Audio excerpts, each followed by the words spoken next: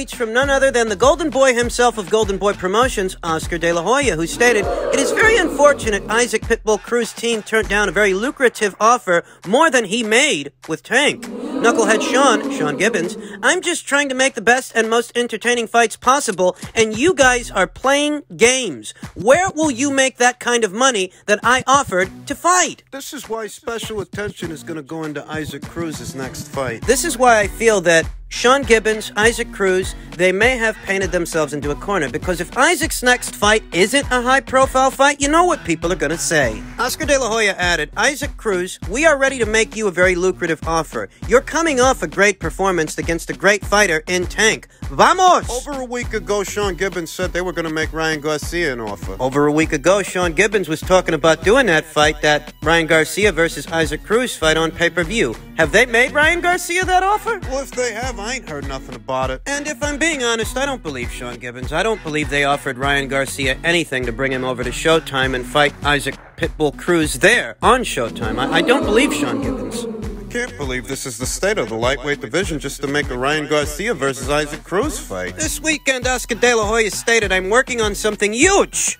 for Ryan Garcia. And what that huge thing he's working on? What that might be? I don't know. The whole thing is revolting. The whole thing is nauseating for me because Ryan Garcia is not a world champion, neither is Isaac Cruz. Neither one of them are established cash cows in their divisions either. Ryan has a lot more notoriety by way of social media than Isaac Cruz does, though all the same, that notoriety doesn't make him the cash cow or even a cash cow in the lightweight division. It just doesn't. And we find ourselves in a situation to where making Ryan Garcia versus Isaac Cruz proves difficult. Why? Why the fuck should a fight like that be so hard to make? In my heart of hearts, I feel a few things. One or two things. I'm sick of Ryan Garcia's bullshit. I'm still sick of his bullshit, though I don't blame him or Golden Boy Promotions in this situation. I firmly believe that Golden Boy Promotions wants to do this fight, and the resistance that we're seeing is coming from the Isaac Cruz side of things, who perhaps don't want to put him in that Ryan Garcia fight so soon off A loss. A loss. I think the Isaac Cruz people want to slow things down. And I don't think Isaac Cruz is afraid of Ryan Garcia. Ryan's more of a peacock than Isaac is. I don't think Isaac himself is afraid of Ryan. I think. what I think is Isaac's management don't want to send him to the zone. That's what I think. I think Isaac's people want to take their foot off the gas coming off that professional loss. They want to fight in some safer fights in their neck of the woods on their side of things. They don't want him to just be an opponent for yet another high profile name in the lightweight division like Ryan Garcia. That's what I think. I think the resistance that we're seeing is mostly coming from the Isaac Cruz side of things, even if Isaac himself isn't afraid of Ryan Garcia. Isaac himself doesn't make those decisions. His management does. And that's what's nauseating about the whole thing. Ryan Garcia versus Isaac Cruz has the potential to be a very commercially successful fight. All of the ingredients are there. But it's not so big a fight that we should be going through all of this. There's not even a world title on the line. And for me and my money, that's what's nauseating about the whole thing. I mean, how long have we been waiting for Ryan Garcia versus Devin Haney, or Ryan Garcia versus Gervonta Davis, or Gervonta Davis versus Devin Haney? Only for us to have to play the waiting game with this, too? Oscar says he's planning something huge for Ryan Garcia. What that huge thing is, I don't know. I mean, is Ryan Garcia versus Javier Fortuna or Jorge Linares? I mean, what names are out there, and what names are out there? Do those names make for huge fights? Look, Garcia versus Jojo Diaz. Is that a huge fight? Tevin Farmer said he's coming back, and he's coming back as a lightweight. Is that a huge fight? Garcia versus Farmer? Is that a potential matchup? Is that what Oscar's talking about? I really don't know. I don't know how many huge fights you can make for Ryan Garcia outside of a Gervonta Davis fight or a Heaven Daney fight or a George Kambosos Jr. fight. I really don't know. Like I said, the whole thing is nauseating because it shouldn't be this hard for a guy who's not a champion. shouldn't be this hard to make a fight. And I feel like Ryan Garcia's social media profile, his notoriety, has been more of a hindrance to his career than an asset because that notoriety is a big part of the reason that he's Mr. Big in the Britches. He thinks he's a star already. No, I don't blame him for what's going on with Isaac, but I do blame him for what didn't happen with Devin Haney. I blame him for that because whether he likes it or not, Devin Haney is a world champion and he should be trying to become one himself. and he's not. He said the whole goddamn thing's nauseating, and I'm running out of patience for these lightweights. Most of the news you hear coming out of today's lightweight division is in reference to fights that aren't happening. We're just gonna have to wait and see what Oscar's huge news is. Another news in reference to the ongoing legal battle between Terence Crawford and Bob Arum. Dan Canobbio of CompuBox stated, Tim Bradley on the racism allegations brought up by Terence Crawford towards Top Rank was quoted as saying, In all my years with Top Rank, I've never, ever been mistreated in that fashion at all. Point blank, period. And I'm going to leave it at that. Got another character witness coming forward in defense of Top Rank. Figuratively, of course, since court proceedings haven't started, but Tim Bradley would be the second character witnessed coming forward in defense of Top Rank, in defense of Bob Arum, Rasheda Ali, the daughter of the late great Muhammad Ali. She was the first in association with this case. A lot of folks are in their feelings about this thing. And I think a lot of folks are confusing Bob Arum being an asshole with being a racially biased old guy. That's what I think. I think they're confusing him being an asshole and not holding his tongue. Not having any hair on it with being a racially biased promoter. I've seen a lot of mention of when Bob Arum called Guillermo Rigondeaux a boring fighter who he's going to struggle to get fights for, but Where's the lie? Guillermo Rigondeaux years ago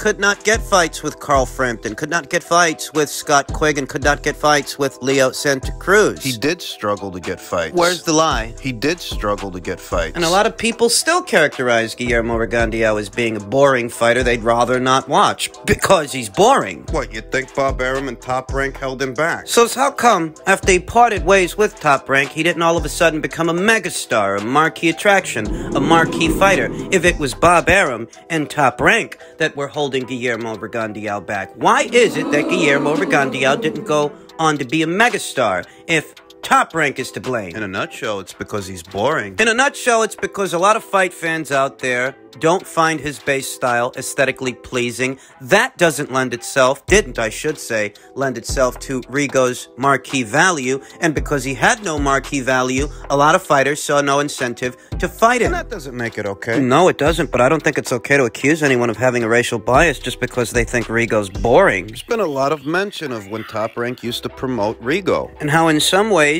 Rigo's tenure at Top Rank characterizes the racial bias that Terence Crawford is describing, but when you think about it, Guillermo Rigondeaux hasn't been with Top Rank in years, and he's still not a megastar. if Guillermo Rigondeaux was being held back by Top Rank, why didn't he go on to become a megastar? It's because he's boring. Bob Arum being an asshole doesn't make him a racist. I understand the ethical dilemma with Bob Arum having said what he said about Rigo whilst being his promoter, that he's going to struggle to get fights for him, and that he's a boring fighter to watch. But well after he said that, Rigo did struggle to get fights, and people did still call him boring. I just think that Bob was being an asshole the same way I think he was being an asshole with Terence Crawford when he said that, you know, he lost money on a lot of his fights. I think that was an asshole thing to say, an asshole thing to do, but I don't think that denotes characterizes a racial bias. According to Tim Bradley, in all his years at Top Rank, he was never mistreated on the premise of race. Never treated badly by Top Rank, in Tim Bradley's own words. And here we see, years after he retired from professional boxing,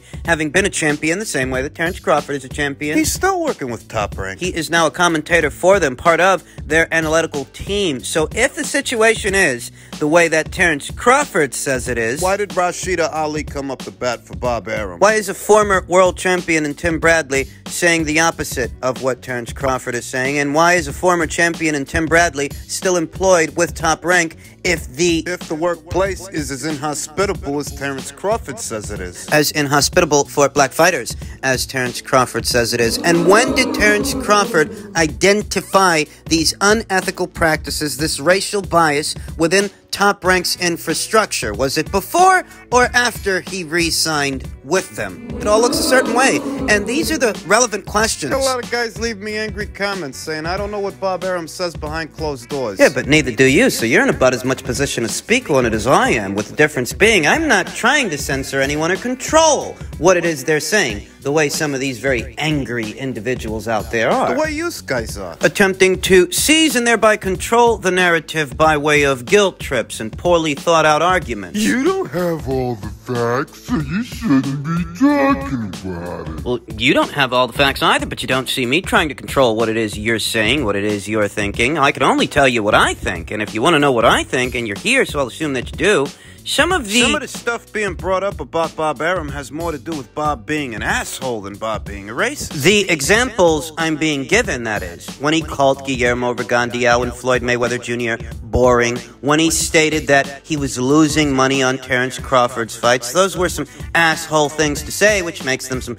asshole things to do, but Being an asshole doesn't make him a racist, and those eggs are gonna need more bacon. for Terence Crawford to substantiate his case. His case in a court of law, because in case you missed it, it's a court proceeding we're talking about, and whether or not Terence Crawford can substantiate what it is he's saying. Because if he can't, he is defaming Bob Arum, defaming Top Rank as a company, and slandering them. No, if he's got some kind of damning audio or video. I read the fucking article in the New York Post. Oh, he said bad things about Al Haymon. Yeah, he said bad things about Eddie Hearn. What's your point? Do those two guys look alike? All I'm telling you is it's going to take more to substantiate this case in reference to what's being claimed than what's being presented Crawford says he's biased towards white and Latino fighters. because they get preferential treatment. Is that what Mikey Garcia was getting when he sat on the shelf for two years, being represented back then by the same guy that's representing you now, Brian Friedman? Who's seeming more and more to me like an ambulance chaser. Do you think that Brian Friedman would describe Bob Arum's treatment of Mikey Garcia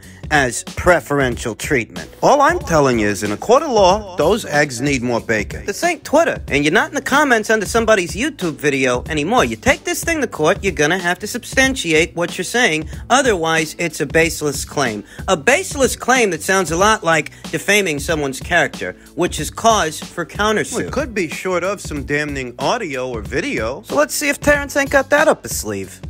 And finally, reigning WBC featherweight champion Gary Russell Jr. states the pound for pound list is a popularity contest. It's not based upon skill. I think he's right in many instances. When it comes to more popular and publicized periodical pound for pound lists out there, I do think it's a popularity contest.